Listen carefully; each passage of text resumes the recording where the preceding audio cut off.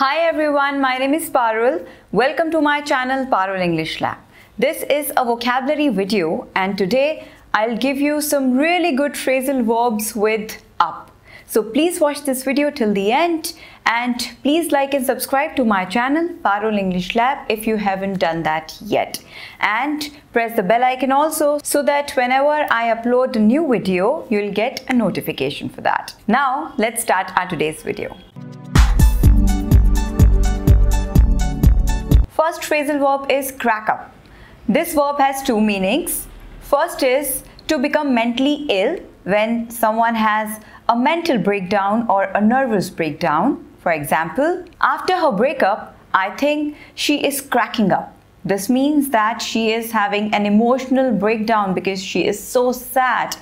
So after her breakup, I think she is cracking up. And second meaning is suddenly laugh a lot or make someone laugh a lot. For example, his jokes really crack me up. This means that his jokes are very funny and they always make me laugh a lot. His jokes really crack me up. Second is blow up. This means to explode. For example, they tried to blow up the factory. This means they tried to explode the factory. Second meaning is if you blow up at someone, this means that you lose your temper and shout at them. For example, you shouldn't have blown up at your brother. This means you shouldn't have screamed at your brother or you shouldn't have shouted at your brother. So you shouldn't have blown up at your brother. When we say eat up, drink up, finish up, this means to do it till the end. So if you say eat up your food or eat up your breakfast, this means finish it completely till the end. There shouldn't be anything left on your plate. When you say drink up your milk, this means finish it completely. And when you say finish up your work, so this means finish it till the end. Finish it completely. Next phrasal verb is bring up. This means to raise a child, to look after a child until he or she becomes an adult. So that is bring up.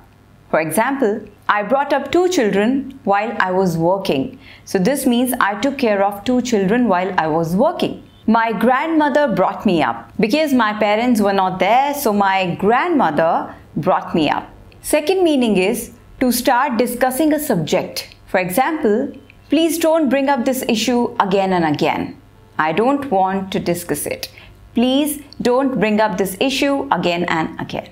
Next phrasal verb is pack up. So when a machine packs up, this means it stops working. It doesn't work anymore. For example, my computer has packed up. I have to get it repaired. This means my computer is not working. We also use it when we stop something. For example, it's high time now. I think you should pack up smoking or you should pack up drinking. This means you should stop smoking or drinking. And the third meaning is to collect all your things together after you have completed your work. For example, I have packed up my stuff and going home. Let's leave. It's time to pack up for the day. Next phrasal verb is take up. This means to begin to do something or to continue something. For example, if you feel bored, take up dancing or swimming. So this means start dancing or swimming. She will take up the position of manager. So this means that she will begin her role as a manager.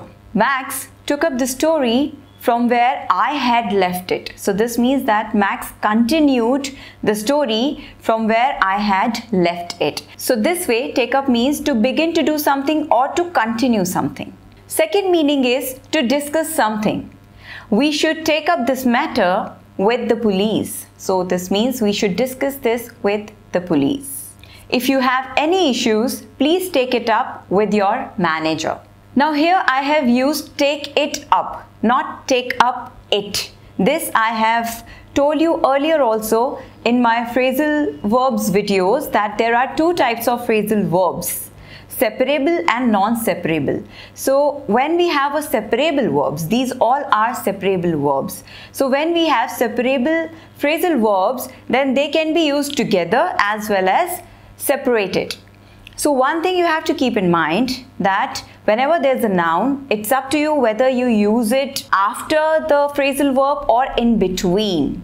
But when you use a separable phrasal verb with a pronoun, then the pronoun has to come in between. For example, in this sentence, if you have any issue, please take it up with your manager. So take it up, not take up it. That's incorrect because it is a pronoun. So whenever we have a pronoun, that will come in the middle of the phrasal verb take it up, not take up it. And when there is a noun, so that's up to you how you want to use it. That can come after the phrasal verb as well as in the middle of the phrasal verb. For example, take up the matter.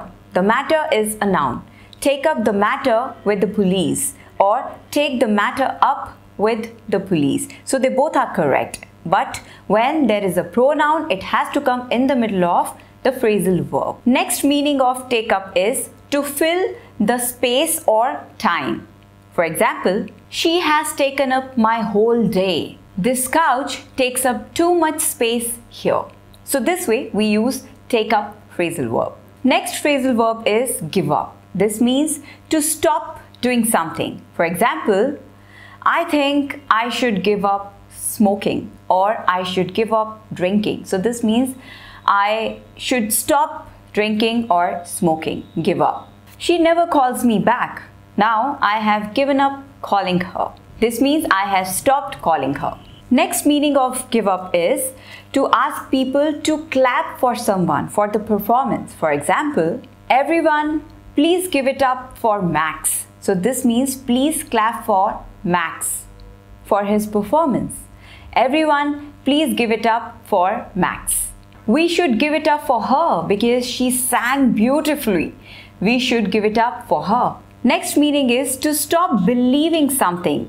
For example, it's a tough time, but please don't give up hope. He has given up the idea of doing business. Now he wants to continue with his current job. So this way we can use give up. Next phrasal verb is make up. So the first meaning of make up is to create a story or an excuse to cheat the other person. For example, he is really good at making up stories. She made up an excuse when she couldn't reach office on time. When you say make up the bed, so this means put sheets or covers on the bed. Make up the bed. We also say do makeup. So this means apply compact, blush on, lipstick on your face. Makeup. Jenny will make me up for the engagement. This means that she'll put makeup on my face. Jenny will make me up for my engagement.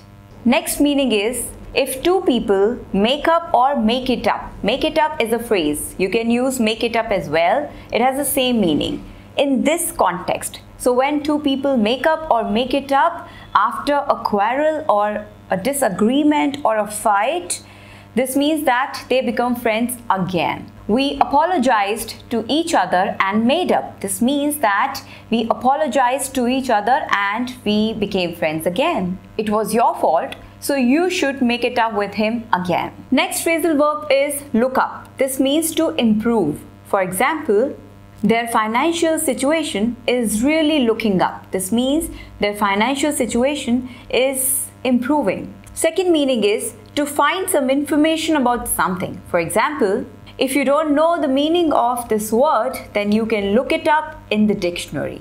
Next meaning is to visit someone. For example, next time I will definitely look her up whenever I am in Delhi. This means next time I will definitely visit her whenever I am in Delhi.